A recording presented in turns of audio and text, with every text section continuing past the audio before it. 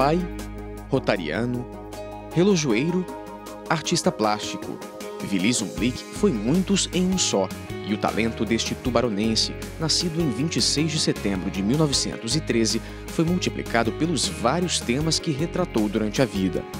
Da primeira exposição individual realizada em Tubarão em 1939, até aposentar os pincéis no final dos anos 90, Vili produziu de forma contumaz, desenfreada, apaixonada.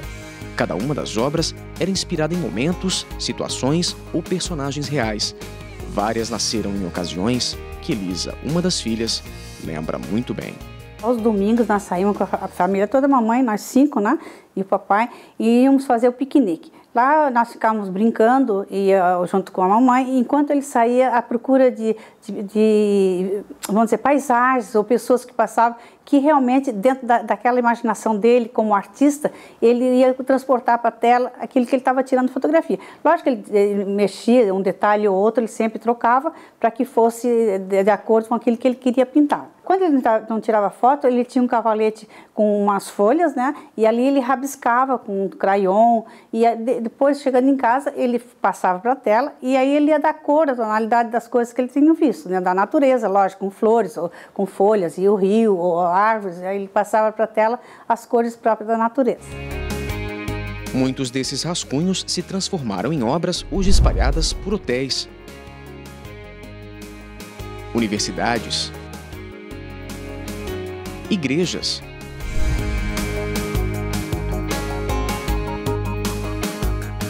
Espaços públicos. Na sede do Palácio Barriga Verde, por exemplo, quatro das telas expostas de maneira permanente são assinadas pelo artista. Entre elas estão a da professora Antonieta de Barros, primeira deputada negra a assumir uma cadeira no Legislativo e a do médico Estélio Cascais Boabaide, que presidiu a casa entre 1985 e 1986. Este último foi produzido em 88 e integra a Galeria dos Ex-Presidentes. Além de personagens ilustres ou desconhecidos, Vili retratou lugares, paisagens, cenas do cotidiano. Filho orgulhoso do Sul, registrou a pesca do camarão em Laguna, as esculturas de Zé Diabo em Orleans, o dia a dia dos mineiros de Criciúma, o drama das enchentes de 74 que pintaram de cinza a história da Cidade Azul. Zumblick também eternizou alguns dos momentos mais importantes da história do Estado. Em entrevista, falou dos episódios que reproduziu em várias telas. Trabalhei muito sobre Anita Garibaldi e o contestado monge João Maria de Jesus e as bandeiras de divino, que é, na verdade, aquilo que eu pinto quase diariamente. Parte dessas produções foi doada ao município pelo próprio Zumblick. São 72 obras expostas no Museu do Artista. A moldura que Vili tanto idealizou para aquela que seria sua maior realização começou a ser construída em 1996 e só foi possível graças à união de esforços. A implantação do museu era uma luta nossa, já da gestão anterior, é, é, Sorato e Irmoto, e prosseguiu com a gestão Irmoto e Celso. Ah, e nesse meio tempo interveio, os senadores pediam a mim, nós conseguimos fazer as emendas e, e colocarmos esses 410 mil reais para o Museu de Tubarão. O edifício foi erguido na Praça Central de Tubarão, que tem o nome do irmão de Vili, Walter Zumblick. Foi inspirado em alguns dos principais museus do mundo, como o de Nova York, e evidencia nos detalhes ideias do próprio artista. Eu lembro numa das reuniões que o seu Vili dizia o seguinte: o prédio deve ter bastante iluminação natural, mas a iluminação não pode afetar as obras foi um, um, segundo grande desafio da equipe. E aí a gente acredita que o resultado foi bem satisfatório, né? o seu Vili prontamente a, a, aprovou, quando nós, a gente criou aquelas cúpulas que permitem a iluminação de todo o edifício, de quem está usando o edifício por dentro, mas ao mesmo tempo essa iluminação natural não pega diretamente sobre as telas. De lá para cá, as telas ganharam espaço de destaque, mas apesar da imponência, são apenas uma pequena amostra do acervo composto por milhares e milhares de obras. Várias foram dadas de presente pelo próprio Zumblick, entre elas centenas de caricaturas que viraram uma das marcas registradas do artista. Seu Olávio colocou a dele num lugar especial e lembra que o desenho foi feito em questão de minutos. Eu levei um susto, né? Eu assim, ô oh, seu Vili, mas, mas que coisa, que nariz mais comprido, que queixo mais fino. Pô, não dá para botar um pouquinho de cabelo? Ficou assim tão feio. Ele disse, não, é porque tu tem os traços fortes. Quando ele falou em traço forte, aí eu me conformei. Eu disse, ah, então tá, eu tenho traço forte, né? Alguma coisa de bom eu devo ter, né? Fiquei com, a, com o quadro, agradeci até hoje. Guardo aqui dentro da, da minha sala, com, recordando sempre quando eu passo por ele, do Vili, do Túlio, de toda a família Zumblick, que é um exemplo, né? Além das obras doadas, Vili pintou várias outras que foram arrematadas por amigos, parceiros, admiradores. Seu genésio foi os três. Na sala de casa, guarda com carinho vários quadros do artista, e a coleção ficou tão grande que algumas das telas foram levadas para o escritório dele em Tubarão. Cada uma é uma relíquia, mas o verdadeiro tesouro permanece guardado a sete chaves 42 correspondências trocadas entre os dois amigos. E o Vili era uma pessoa que nunca deixava uma correspondência sem resposta. E ao longo do tempo eu fui guardando essas correspondências. Conforme mostrei para vocês, eu tenho aí 42 correspondências arquivadas, assinadas e escritas pelo seu Vili. E você tem tudo isso, você tem escrito a mão da pessoa. O, o valor disso é, é isso aqui.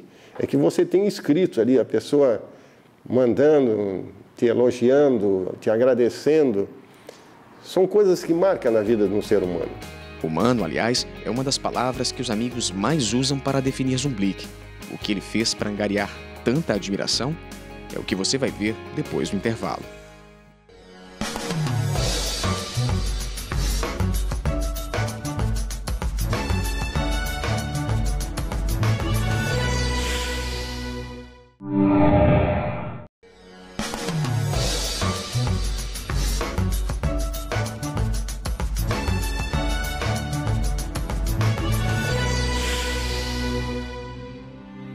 Dia 3 de abril de 2008 foi de tristeza e comoção no sul do estado. Santa Catarina dava o último adeus a Vili Zumblick.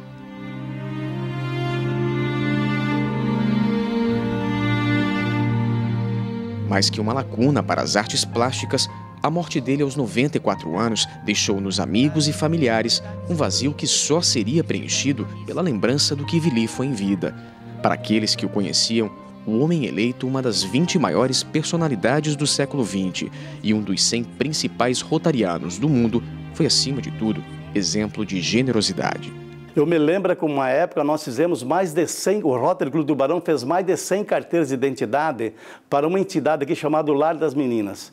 E na entrega dessas identidades, quando o Vili entregou essa carteira de identidade para uma criança, uma menina de uns 8 anos aproximadamente, essa menina olhou demoradamente assim para a fotografia dela e para aquela carteira e olhou para o Vili e abraçou o Vili. E o Vili naquele dia chorou. Quando o Vili chorou, eu olhei assim para ele e disse: Esse é um rotariano de quatro costados. Esse dá de si sem pensar em si. E esse era o legado que o Vili deixou para nós. A vontade de ajudar era tão grande que extrapolava o círculo de amizades.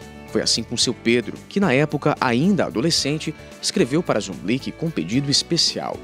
Mesmo sem conhecê-lo, explicou a situação. Queria ajuda para aprender a pintar, realizar o sonho de se tornar artista. Quando a resposta chegou, ele mal conseguia acreditar. Eu recebo um pacote grande, pesado. No que eu abro, tive a grande surpresa de ter ali no pacote uns 10 tubos de tinta, uns 3 ou 4 pincéis, um vidro grande de água raiz e um rolo de tela. E ali eu comecei a pintar. Embora eu não tenha sido aluno dele, assim, é, não fiz curso com ele, mas as conversas que eu tive com ele valeram muito mais do que um curso. Por exemplo, a mistura para chegar a, a representar a, o, o cobre, né? O qual é a mistura que ele fazia das tintas para chegar no cobre. Isso aí eu aprendi com ele, né? Então, no, no meus, nas minhas naturezas mortas, quando eu boto uma peça de cobre, eu me lembro dele. O artista que influenciou tantos outros artistas nunca guardou para si as técnicas que aprendeu e desenvolveu. Vili transmitiu todo o conhecimento que tinha, mas esperar que alguém pintasse no estilo dele seria algo inimaginável. As obras de Zumblick são consideradas únicas e chamam a atenção não só pela mistura de cores, a expressão dos personagens, a luminosidade, mas também pela variedade de suportes.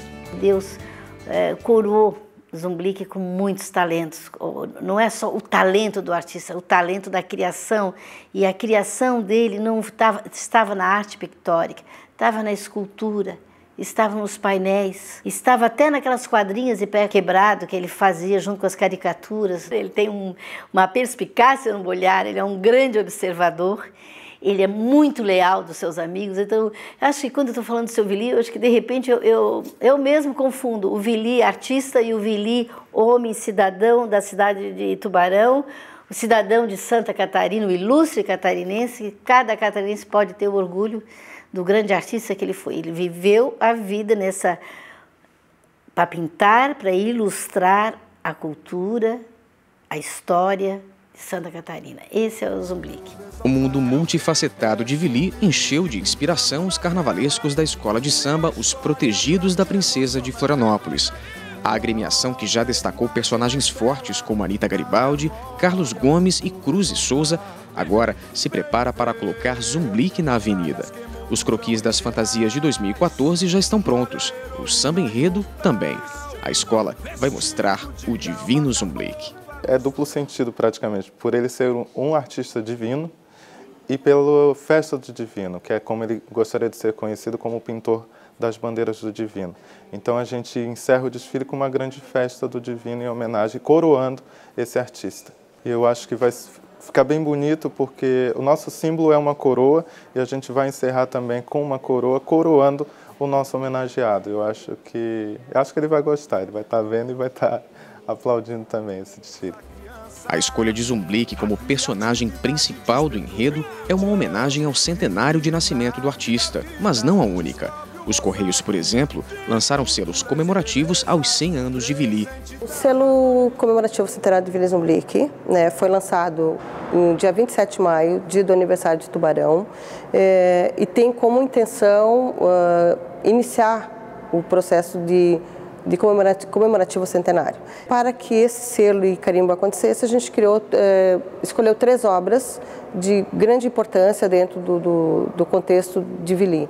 É, primeiro, uma das obras que ele mais pintava, que era Bandeira do Divino. Segundo, Corpus Christi. E terceiro, é, o Boi de Mamão, pela expressão da questão cultural e folclórica da região. Escolher as estampas não foi tarefa fácil, as opções não eram poucas. Mesmo considerando as principais temáticas retratadas pelo artista, o volume de telas era imenso. Muitas delas foram descobertas pelos autores do catálogo Zumblick para Sempre, lançado em 2010, com um total de 1.222 obras produzidas por Vili. Parte do acervo estava nas mãos de colecionadores.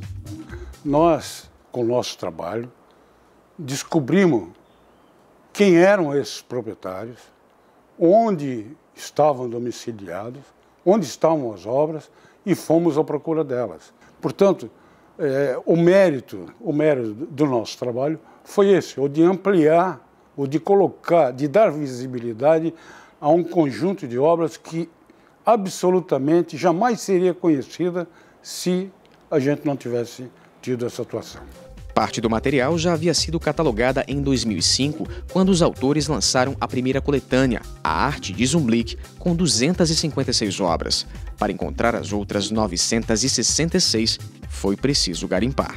Se começou justamente um trabalho de pesquisa, de busca e de divulgação do que se estava sendo feito para que as próprias pessoas como de fato aconteceu, pudessem nos procurar ou dar alguma referência de onde existia e onde localizar essas obras. E umas pessoas informavam outras, ó, oh, estão fazendo um trabalho assim, se tu tens uma obra, então começamos a localizar obras em muitas cidades de Santa Catarina, fora do estado, e isso que nos mobilizou e cada vez que se descobria nova obra, nós nos lançávamos a campo para essa, com essa finalidade. Para manter o padrão, a qualidade e a tonalidade original das cores, as telas foram fotografadas em condições especiais. Por isso, a captação foi uma das etapas mais demoradas do processo. Como o catálogo foi produzido com recursos da Lei de Incentivo à Cultura, que determina prazos para entrega do material, foi preciso suspender a busca por novas obras.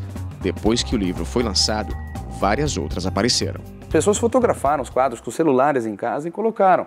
Illinois, eh, mais precisamente Chicago, nos Estados Unidos, Tóquio, algumas cidades espanholas e, e os estados do, do, país também. Obra no Acre, obras no Nordeste, principalmente na região Centro-Oeste, Brasília, Mato Grosso do Sul, Espírito Santo, que são obras, não, claro, na mesma quantidade inicial que nós encontramos, mas essas obras têm que estar catalogadas. Quizá consigamos fazer esse registro devidamente profissional fora do país também. O alcance da obra de Zumblick, que completaria um século, mostra que os 75 anos dedicados às artes fizeram de Vili um dos maiores artistas do estado. O legado é tão precioso quanto cada uma dessas telas e reforça até hoje o que o próprio Zumblick costumava dizer. A pintura é um lenitivo para minha alma. Tem me prolongado a vida. Sempre tenho novas ideias para transpor para a tela. Enquanto assim for, estarei vivo.